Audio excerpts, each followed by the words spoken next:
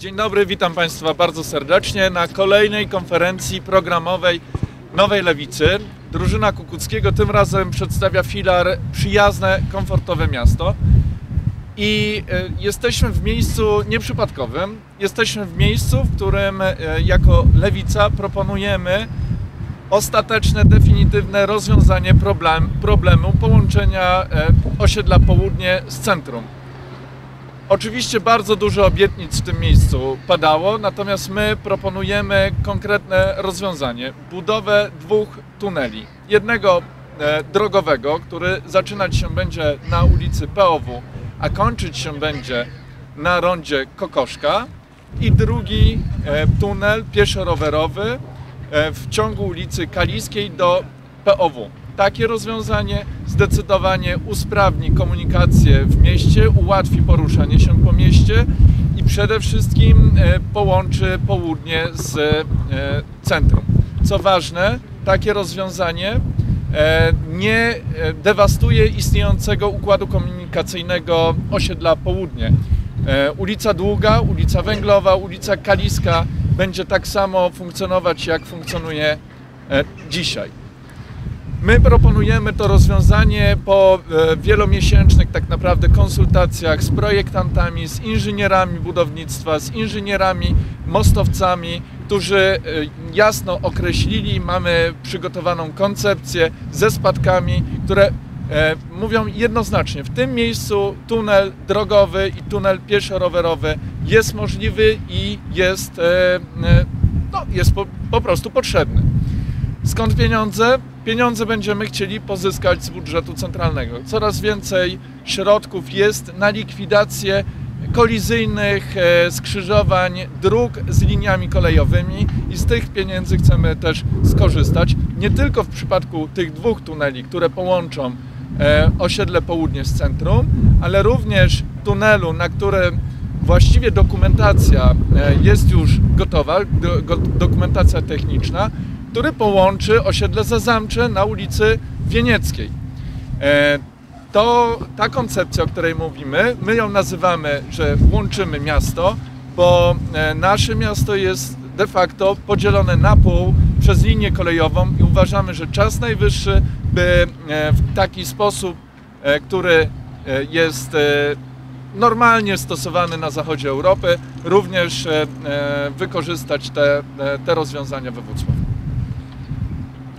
Ale to nie jedyne nasze propozycje programowe w ramach e, filaru Przyjazne, komfortowe miasto.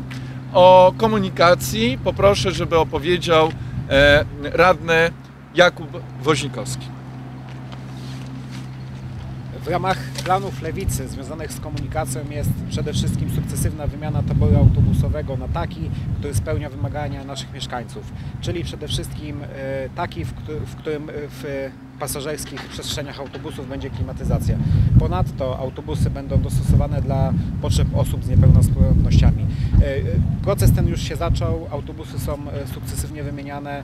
Mamy nadzieję i trwają już takie prace nad wymianą kolejnych autobusów. Tutaj pion jeszcze ówczesnego prezydenta Kukuckiego rozpoczął e, takie prace.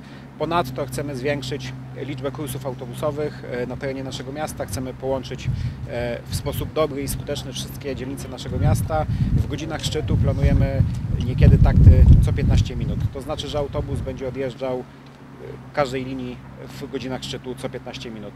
Pomoże to przede wszystkim zwiększyć liczbę osób korzystających z usług komunikacji publicznej, co pozytywnie wpłynie na zarówno zakorkowanie czy ilość samochodów poruszających się e, po naszym mieście, ale i na e, jakość powietrza na terenie naszego miasta.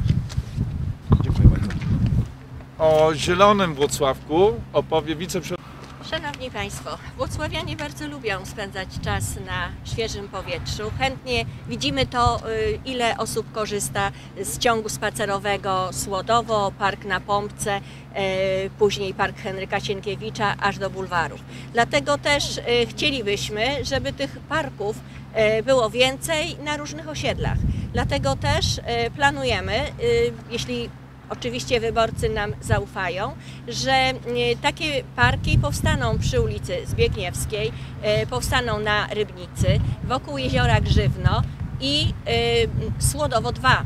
E, Bowiem mm, przypomnijcie sobie Państwo, że kiedy była, kiedy była awaria mostu na Słodowie, już zostało mm, wykonane przejście pod właśnie mostem i jakby w naturalny sposób już będzie można przemieścić się na drugą część e, Słodowa, a więc jakby naturalnie dalej można tam inwestować i powstanie Zazam, y, Słodowo 2. Dziękuję.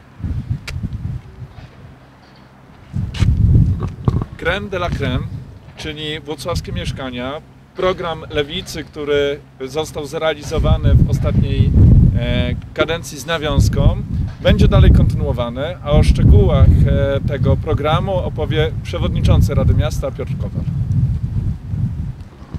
Dzień dobry Państwu. Faktycznie Włocławskie Mieszkania to jest coś, co wyróżniło nas i rozsławiło Włocławek na całą Polskę. Ja przyznam się szczerze, że z dużym zadowoleniem słyszałem, jak nawet na wczorajszej sesji o mieszkaniach wszystkie strony polityczne wypowiadały się z zadowoleniem. E, Ale jak przypominamy zawsze i przypomnę to również dzisiaj, jeszcze w tej kadencji, również szczególnie ta opcja, która e, dzisiaj chce chwalić się tymi mieszkaniami, wątpiła, czy te mieszkania będą potrzebne. Czy na celulozową będą chętni, czy to się w ogóle uda, czy jest sens, no bo wiadomo, dogmat liberalny e, długo, długo stawiał nas w sytuacji takiej, gdzie jedynym właścicielem tego procesu budowy mieszkań może być tylko i wyłącznie deweloper. Włocławek pokazał, że się da i że zapotrzebowanie jest ogromne, bo na każdy nabór na ulicy celulozową na początku było to 1000 osób, później na ten drugi mniejszy nabór było to ponad 800 osób, czyli widzimy, że jest nadal duża osób, duża rzesza osób, które oczekuje na e, te mieszkania. I my w, będąc, e, no, wydaje mi się, siłą dość wiarygodną w tym obszarze, e, obiecujemy, że zrealizujemy kolejne działania, które pozwolą mieszkankom i mieszkańcom Włocławka uzyskać swój kąt. Bo gdy mówimy o przyjaznym, komfortowym mieście, trzeba powiedzieć jedno: stabilizacja na rynku mieszkaniowym, posiadanie własnego konta to największy komfort w życiu to jest absolutna podstawa i e, fundament, na czym można budować e, swoje życie, swoją rodzinę. A więc, e, tak jak zapowiedzieliśmy, będziemy kontynuować budowę mieszkań przy ulicy Celulozowej.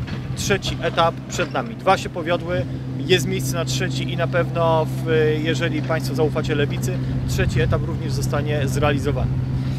E, takie mieszkania powstaną również przy ulicy w Łubinowej czy przy ulicy Starodębskiej, przy ulicy Cygance również w ramach rewitalizacji chcemy, żeby to miejsce zostało e, na budownictwo mieszkaniowe, te miejsca zostały przeznaczone. Ale w, nie mogę się jeszcze nie odnieść do wczorajszej sesji, bo akurat ona ma bezpośredni związek z mieszkaniami, a mianowicie z naprawdę dużym zdumieniem, i to wyartykułowałem podczas wczorajszych obrad, przyjąłem list intencyjny, który pan prezydent Wojtkowski podpisał w, razem z panem marszałkiem Całbeckim o, o przeznaczeniu działki na ulicy 3 Maja i Tumskiej na budowę Filharmonii. Szanowni Państwo, już od y, lat w tym miejscu, w gminnym programie rewitalizacji zapisana jest budowa budynków mieszkalnych. Na to zostały wydane już pieniądze na dokumentację, która o tym mówi, więc dzisiaj wycofanie się z GPR-u, wyrzucenie do kosza tej dokumentacji doprowadzi do tego, że zmarnujemy pieniądze mieszkańców Włocławka. A jeżeli mówimy o rewitalizacji, to trzeba jasno powiedzieć, rewitalizacja to nie tylko budynki, to również, to również rewitalizacja tkanki miejskiej. Jeżeli chcemy, żeby ten obraz śródmieścia zmienił się, to również musimy mieć tam nowych mieszkańców, którzy no, z zadowoleniem w, będą w, korzystać z uroków życia w śródmieściu, no, ale to muszą być też osoby, które, w, które są w stanie te mieszkania utrzymać. Bez rewitalizacji miejskiej nie będzie rewitalizacji śródmieścia. A więc stoimy twardo na stanowisku, że na tej działce nie powinno być filharmonii, powinna być, e, powinny być mieszkania i na pewno do tego będziemy dążyć. Nie jesteśmy przeciwnikami filharmonii, powiem tylko, bo już takie e, stwierdzenia też słyszałem w przestrzeni. Na pewno znajdziemy inne godne miejsce, jeżeli pan marszałek zechce zainwestować pieniądze we Włocławku, co się przecież rzadko zdarza, w- więc na pewno ta propozycja nie zostanie odrzucona. Uważamy, że po prostu miejsce jest złe. Szanowni Państwo, ale warto wspomnieć o jeszcze, jednej, w, o jeszcze jednym aspekcie budownictwa e, mieszkalnego we Włocławku. To kwestia zagospodarowania terenu na ulicy Lisek. Tam w, mają powstać domy pasywne, w, które, z, które już y, wzór został postawiony, bo przecież jeszcze tutaj za naszej kadencji e, ten pierwszy wzorcowy dom pasywny został wybudowany i w planach lewicy jest to, aby te domy w, w trybie dojścia do własności zostały wybudowane. Więc tak jak dotrzymaliśmy obietnicy z celulozową, tak dotrzymamy też z Liskiem. Ja wiem, że teraz jest y, znowu wiele chętnych na to, żeby się pod tym projektem podpisywać, ale też chcę przypomnieć, że jeszcze nie tak dawno gdzieś tam krążyły e, w propozycje, żeby teren sprzedać y, deweloperom na jakieś działki. No, my na pewno w tym kierunku nie będziemy chcieli pójść, będziemy chcieli spowodować, że ten teren zostanie przeznaczony na budownictwo mieszkaniowe w sposób rozsądny, żeby nie trafił w ręce prywatnego dewelopera, tylko żeby zagospodarowali to mieszkańcy i mieszkanki naszego miasta. Dziękuję. Szanowni Państwo, w filarze Przyjazne, komfortowe miasto jest jeszcze e, duży aspekt e, drogowy i realizacji, a właściwie kontynuacji inwestycji drogowych. E, Te w, ostatnim, w ostatniej kadencji bardzo mocno przyspieszyły w naszym e, mieście. E, Kierowcom e, zdecydowanie w wielu przypadkach lepiej się jeździ chociażby po nowych ulicach. Będziemy kontynuować oczywiście e, ten wątek. E, Będziemy dalej rozwijać układ komunikacyjny naszego miasta, między innymi o ulicę Cienistą, o ulicę Rybnicką, o e, dalszą przebudowę, czyli drugi etap Alei Jana Pawła II, ale będziemy kontynuować to na szeroką skalę. Ten program, na którym mi osobiście bardzo mocno zależało jeszcze e, w poprzedniej kadencji i który udało mi się zapoczątkować, czyli zamiast łapań, e, łatania dziur, to po prostu wymiana, e, czyli wymiana nakładek bitumicznych na całej szerokości, na całej długości e, jezdni. Tutaj będziemy kontynuować ten program na dużo szerszą skalę niż to miało miejsce w ostatnich latach, bo oprócz budowy nowych dróg, takich jak chociażby ulica Średnicowa, jak alternatywa dla Alei Jana Pawła II, to też trzeba zadbać o te, które istnieją, o te, które, z których e, dzisiaj kierowcy e, naszego miasta korzystają. To jest propozycja dla mieszkańców Włocławka w ramach programu Lepszy Włocławek 2 i filaru Przyjazne, komfortowe miasto.